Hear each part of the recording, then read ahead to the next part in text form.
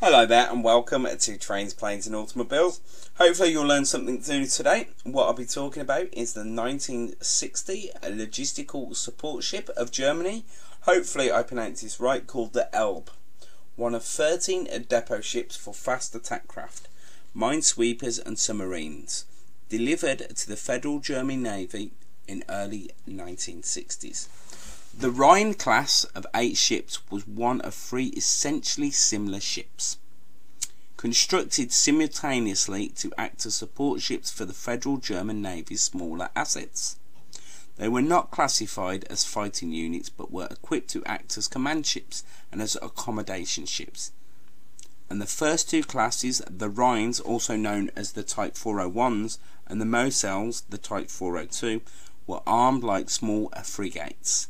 While the Lahns, the Type 403, had only light AA armament, the Elbe, the A61, was the second of a class to be constructed by Schlieker of Hamburg, launched on the 5th of May 1960. She entered service in April 1962. On 18th of July 1975, she was transferred to the Turkish Navy. I would like to pronounce what she become, but I don't think I can speak Turkish. I will try. The Gizar Yerli Gaza Hasan Pasa, or something like that. A very big mouthful. Right. The Type 401 ships were powered by pure diesel machinery. The other two were diesel electric. Their multiple engines coming into use progressively as more power was required, therefore making them very economical indeed at a very low speed. They were equipped with single 100mm 3.9 inch guns in automatic mounts back and forward, as well as four 40mm Bofors light AA guns.